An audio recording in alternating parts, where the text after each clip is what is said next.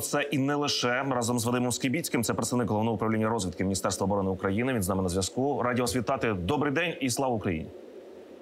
Добрий день, героям слава. Спасибі, пане Вадиме, що долучились до нашого ефіру. Давайте, якщо вже почали зі Зміїного, то з вами і почнемо вірніше цю розмову. Скажіть, будь ласка, чи відомо про плани ворога на цей острів? Я маю на увазі подальші плани. Яка там зараз обстановка? Скажіть, будь ласка. Однозначно, наша оцінка, оцінка головного управління розвитку Міністерства оборони полягає в тому, що це стратегічний об'єкт, який буде використовуватися Російською Федерацією для контролю е, по суті всієї північно-західної частини Чорноморя. І не випадково саме з перших днів війни Російська Федерація захопила цей острів і почала встановлювати необхідне обладнання для того, щоб контролювати е, повітряну, надводну і підводну обстановку в районі цього острова. А це по суті давало можливості Російської Федерації збирати більш точно точну розвідувальну інформацію щодо розвитку ситуації саме в цьому регіоні. Пане Вадиме, не секрет, що змійний став і символом українського спротиву, українського опору Е, на марках випущений, також в тому числі там, де російський корабель, там і острів Змійний, де стоїть український е, солдат чи український прикордонник е, в тому випадку. Яка складова ідеологічна ось в тому, щоб все ж таки захопити цей острів для росіян? Якщо говорити про острів і роль острова для росіян, ідеологічно це те, що вони зможуть контролювати Чорне море, і е, територія, яка належить Україні, тепер належить їм. Це ідеологічно. А по-друге, е, особливо після того, як був знищений ракетний крейсер Москва, е, у них зменшилися можливості про по організації протиповітряної оборони. е, Можливості по постійній присутності саме в цій частині Чорного моря, і ідеологічно вони можуть говорити, да, ми там є за рахунок того, що ми маємо в своєму розпорядженні острів Зміїний. Е, Чи правильно ми розуміємо, що фактично ворог не полишив плани забезпечити е, ну е, забезпечити комплексом С-300 саме в цьому, саме в цьому районі? свою ну, по- по-перше, посилити свою присутність, забезпечити С-300 для того, аби створити ось тут так звану парасольку. Можливо, плани такі будуть подальшими реалізовані, але на сьогоднішній день це чітко вже відомо. Е, Воєнна розвідка має всі дані стосовно розгортання комплексів протиповітряної оборони на острові Зміїний. Це і панцер, це і дві пускових установки Тор М2, які будуть забезпечувати протиповітряну оборону ближнього радіусу дії. А відповідно, ми не виключаємо, що можуть бути розміщені, хоча і не в великих кількостях, е, інші комплекси протиповітряної оборони, а можливо навіть і ракетні комплекси, які будуть дозволяти здійснювати обстріли як надводних, так і наземних цілей на території нашої держави, і не тільки на території нашої держави.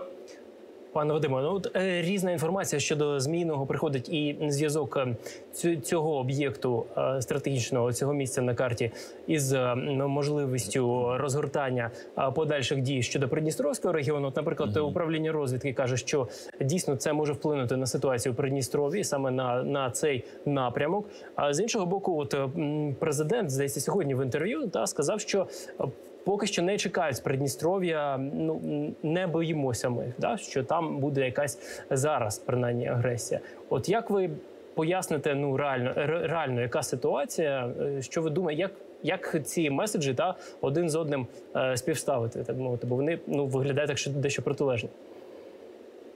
По-перше, ми контролюємо і моніторимо ситуацію, яка зараз розвивається е, на території Придністровської, так званої Придністровської е, Молдавської Республіки. Це, це по-перше. Е, Друге, е, що необхідно відмітити, загроза можливості саме розширення агресії з території ПМР вона є. Чому? Тому що там можуть бути створені і незаконні збройні формування, ті ж самі казачі об'єднання. Там є постійна присутність російських військ, це контингент, окрема група російських військ в Придністрові. І безпосередньо в будь-який момент е, Російська Федерація може посилити це угруповання за, за рахунок перекидання саме повітряно-десантних військ на територію Придністров'я, зокрема в Тирасполь. А можливо це здійснити тільки повітряним шляхом. Для забезпечення цього коридору необхідне і посилення протиповітряної оборони, в тому числі можливо окремими комплексами на острові Змії.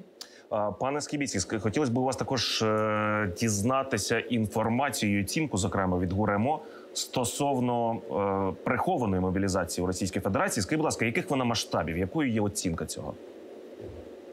На сьогоднішній день Російська Федерація не хоче визнавати те, що вона здійснює е, приховану мобілізацію за рахунок призову резервістів, моб ресурсів.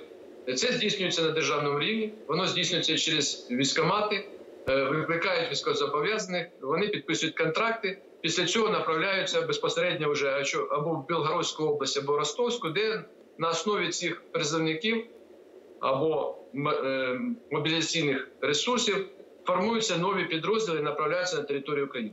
Це факти є, вони зафіксовані. Воєнна розвідка України чітко знає. Ми маємо відповідні свідчення і бачимо саме це переміщення. Наскільки ефективні застосування таких військ, це вже показують бойові дії. В багатьох випадках це не є ефективно.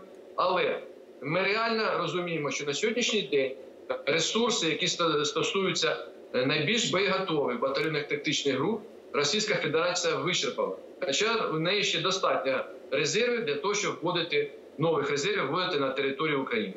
А в якому вони моральному стані? Тому що Мгм. от сьогодні буквально слухав е, переговори чергові, які наші спецслужби публікують, і виглядає так, що всі в принципі хочуть здатися. Ну не всі, але ну настрій такий. А може їм якось допомогти, пане Вадиму? От е, Дійсно, є такі дані, і це дані вони в головному управлінні розвитки постійно відслідковуються. Найбільш пригнічений моральний стан це у е, військовослужбовців першого та другого армійського корпусів, це з окупованих територій Луганської Донецької областей, тому що саме звідти йде повальна мобілізація і призов до, до лав російських окупаційних військ.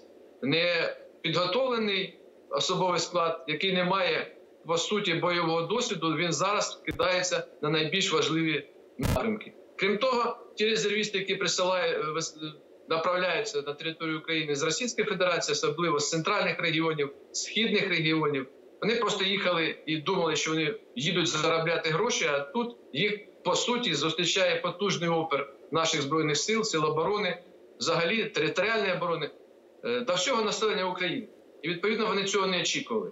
І те, що вони думали отримати гроші, а насправді повертаються додому двосотими, це дуже впливає саме на моральний стан.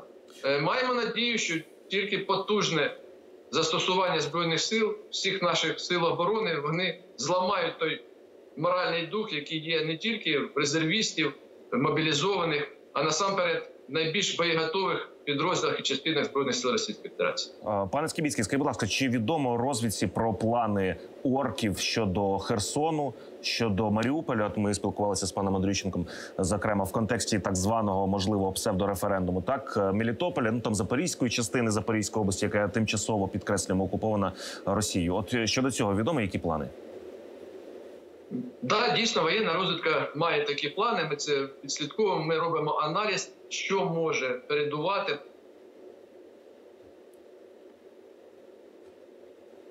так проведенню референдуму. Насамперед, але те, що їм до цих пір не вдалося вийти на кордони Луганської Донецької народних республік, або, скажімо, Донецької Луганської областей, тому що вони вважають, що решта території цих областей вона окупована Україною.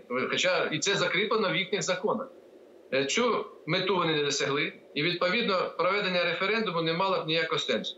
За нашими оцінками, е, такий референдум може бути проведений в вересні місяці, 11 вересня, єдиний день голосування Російської Федерації, і необхідно не забувати, що там на території Донецької і Луганської областей, на окупованих територіях, видано порядка 800 тисяч паспортів громадян Російської Федерації. Це буде такий потужний чинник, який буде використовувати Російська Федерація як привід для захисту громадян Російської Росії, Російської Федерації, які проживають в Україні.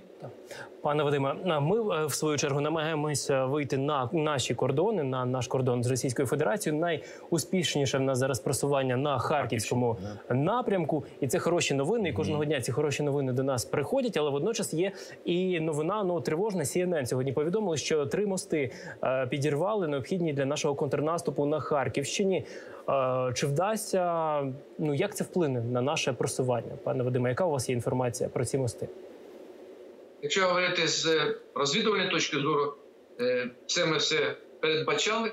Чому? Тому що нічого нового в діях російських окупаційних військ немає. Якщо ми повернемося трошки назад, давайте е, згадаємо той відступ, який був російських військ від Києва, наприклад, на тому ж самому Броварському напрямку. Коли вони виходили, вони взривали після себе на своєму шляху все, що можна було підірвати. Крім того, було здійснено потужне мінування, а це займе багато часу для тепер для того, щоб його розмінувати. Е, Знищувалися найбільш критичні і важливі об'єкти інфраструктури. Е, Таким чином, це е, нагадував відхід просто якоїсь орди, яка знищує на своєму шляху все, що попадає їй під руки. На харківському напрямку да, це буде впливати, тому що там потужні водні перешкоди, які потім необхідно буде нам форсувати або наведити наводити переправу, або відновляти ці мости для того, щоб продовжити контрнаступ і вийти на державний кордон нашої держави, відновити е, нашу присутність там, а в подальшому проводити інші контрнаступальні дії. Пане Вадиме, а і тоді вже повертаючись до Херсонської області, про яку от, е, е, Юра згадав, там же теж широка мережа якраз мостів через канали, е, через іригаційну систему. І найголовніше місце ось цей Антонівський, який з'єднує Херсон з лівим берегом. Яка у вас є інформація? Чи планують вони це підривати? Адже ми теж близькі до контрнаступу. Там ну військові експерти принаймні про це багато говорять. Наша оцінка дуже проста. Взагалі, Херсонська область це е, дуже важливий регіон для Російської Федерації, і ми це розуміємо. Насамперед, це сухопутний так званий міст, який поєднує Російську Федерацію з окупованим Кримом. По-друге, це елементи забезпечення життєдіяльності Криму. Це вода, це електроенергія. Не просто так була зах- захоплена наша атомна електростанція. І відповідно росіяни будуть робити все можливе для того, щоб утриматися на цій території. Ми теж не виключаємо, що буде проведений референдум. В якому вигляді це буде? Чи це буде так звана Херсонська Народна Республіка, чи це будуть інші питання, які можуть бути поєднані з приєднанням, наприклад, Херсонської області, частини Запорізької області, яка захоплена до Кримського півострову, і створення якогось е, федерального такого об'єднання території. Але це поки що в планах Кремля. Все буде залежати від того, наскільки успішними будуть дії наших збройних сил, наскільки успішним буде та допомога, яку зараз міжнародна спільнота надає нам. Зрозуміло, пане Вадиме, спасибі вам. Дякую. Дякуємо, що долучилися до марафону єдиних новин. Дійсно, успіху нашій розвідці, успіхів нашим захисникам. Вадим Скібіцький, представник головного управління розвідки Міністерства оборони України, був із нами. Дякуємо. Спасибі величезне.